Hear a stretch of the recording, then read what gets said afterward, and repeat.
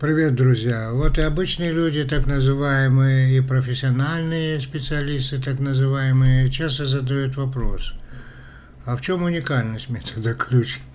И в чем его универсальность? Ну, я вам сразу скажу, уникальность э, метода ключ в том, что приемы ключа снимают стресс автоматически, независимо от того, верите вы в это или не верите. Это наука. Точнее сказать, нейрокибернетика. А вот универсальность в том, что подходит каждому и по любому вопросу. Там, где надо снимать стресс, например, антистрессовая подготовка или восстановление после каких-то событий, там вы знаете, как подбирать эти приемы, синхронные текущему состоянию. Если не знаете какой-то прием, если он вам не подходит, вы знаете принцип, по которому вы подбираете прием. Знаете, как это сделать. И это делается очень быстро. Поэтому метод универсальный. Основан он на том, что вы и сами делаете бессознательно, когда решаете волнующие для себя вопросы.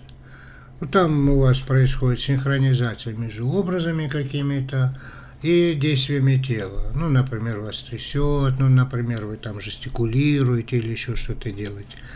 Так вот, метод ключ универсальный потому, что это то, что вы сами делаете только бессознательно – в данном случае вы делаете в виде приемов и упражнений осознанно, а при этом получается новое качество ваших возможностей.